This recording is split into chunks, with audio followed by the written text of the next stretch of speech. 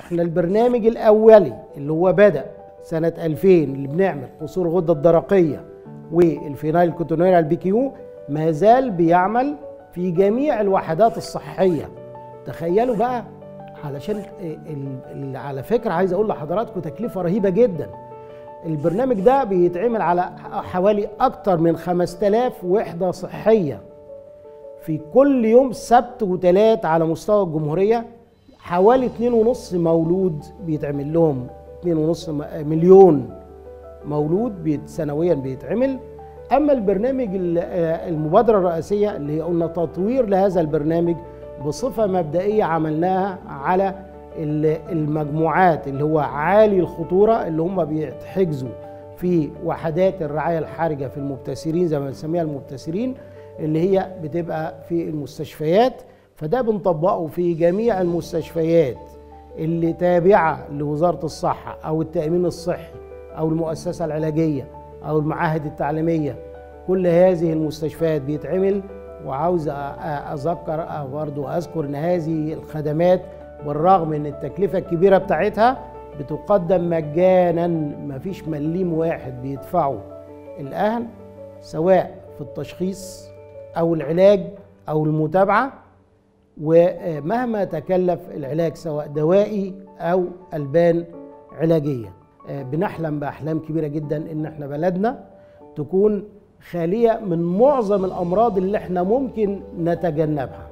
دايما الحلم بتاع الأطباء أو حلم الطب إن هو يقدر يمنع المرض اللي هو له وسيلة للتشخيص. زي ما كلنا بنعرف الوقاية خير من العلاج. فالنهاردة إذا كنت أقدر أعرف إنه في مرض أقدر أشخصه وأمنعه يبقى ده يعني استثمار كبير جدا. الخطة المستقبلية أو التطور اللي إحنا ب ب ب ب بنخطط ليه أكتر من حاجة. اولا اتساع الدائرة بتاعه فحص الأمراض.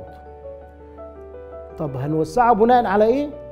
كل ما بنجد إنه في العالم بدأ يكتشفوا علاج لأحد الأمراض الوراثية.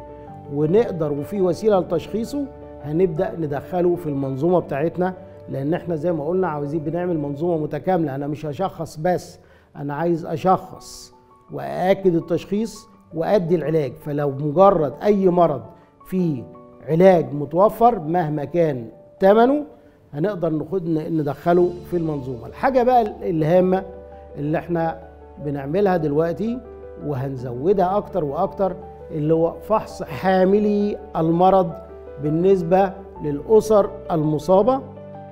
فبمعنى إن لما نشخص مرض باقي أفراد الأسرة بقى مش هنسيبها هنبدأ نعمل فحص للتأكد أو تشخيص إذا كان أحد أفراد الأسرة بيحمل السمات الوراثية للمرض ده. طب ليه هنعمل كده؟ علشان نبدأ نديه الرسائل الصحية علشان في في مرحلة مبكرة أما يجي بقى يكبر ويتزوج يبقى الأهل والأسرة عارفين إنه لابد من اختيار طرف ليس لديه الجين أو غير حامل للمرض ده. فبالتالي على المدى البعيد أقدر أمنع معدل حدوث الأمراض. لا ده أنا مش هشخص بدري لا. ده أنا هخلي المرض أساسا مش هيحدث لأنه حامل المرض ده لو ما تزوجش من واحدة حاملة المرض يبقى ما حصلش خالص. لأن إحنا اللي بنعمله دلوقتي بنسميه primary prevention اللي بنعمله دلوقتي secondary prevention لكن ال primary prevention اللي هو المنع المبدئي بالعربي كده اللي هو الوقاية المبدئية الأولية. الوقاية الأولية بتحدث هي منع حدوث المرض. أما الوقاية الثانوية اللي إحنا بنعملها دلوقتي هي التشخيص المبكر للمرض للحد من المضاعفات بتاعته للحد من الإعاقة للحد من الإنفاق اللي هو على الأسرة والأعباء الاقتصادية والاجتماعية على الأسرة لو اكتشفته بدري وبالتالي أقدر أمنع المضاعفات. فهو ده اللي, اللي لابد إن هو الأسر تساعد فيه. وكل يوم في تطوير في التشخيص والعلاج وتأهيل الحالات اللي إحنا بنكتشفها علشان يبقى إنسان طبيعي أقرب ما يكون إلى أقرانه. وعلى سبيل المثال إحنا عندنا أطفال من من خلال البرنامج اللي هو آه، مرض الفينايلكتونوريا اللي اكتشفناهم. حاليا دلوقتي أصبحوا أطفال عاديين جدا لدرجة في أطفال في مدارس لغات والأداء بتاعهم ودرجة الذكاء كويسة. ده جه إزاي؟ ده من التشخيص المبكر والالتزام بالمتابعة والعلاج والتزام الأسر برضو بالعلاج بالنسبة لأطفالهم.